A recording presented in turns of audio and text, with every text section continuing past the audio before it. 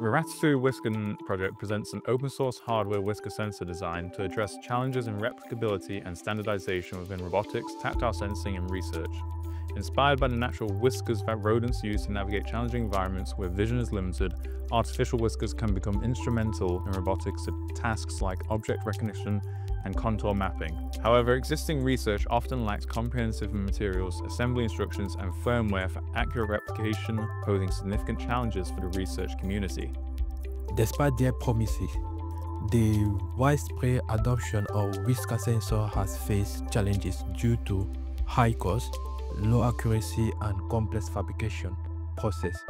To address this issue, we present a low-cost, flexible, and user-friendly 3D printer uh, Whisker sensor platform along with a robust data collection and deep learning model training framework for shape uh, classification. Yeah, I've been part of this project uh, working specifically on creating an open source, uh, open hardware platform for uh, Whisker testing. So I, I worked on creating a, fo a foundational system that we could use to uh, mount any system on any 3D printer uh, in order to allow uh, extensive testing. Um, the Whisker design takes inspiration from early systems like Scratchbot and Crunchbot.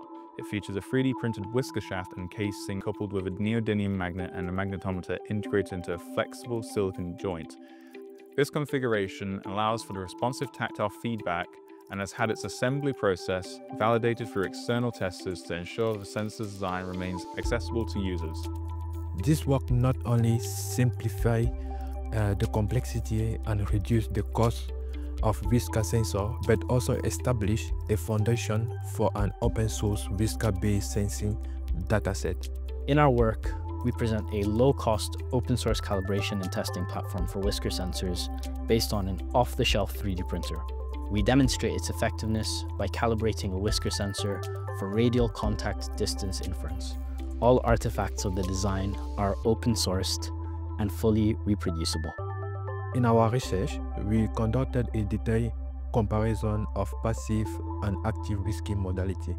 The result revealed that passive whisking improved classification performance by approximately 10%. Our deep learning model achieved an F1 score of 0.85 on the passive whisking dataset across various shape class compared to 0.74 on the active whisking dataset. This enhancement can be attributed to the improved interpretability of the data collected during passive whisking. We look forward to see what the future holds for our design and how you will use it. Thank you.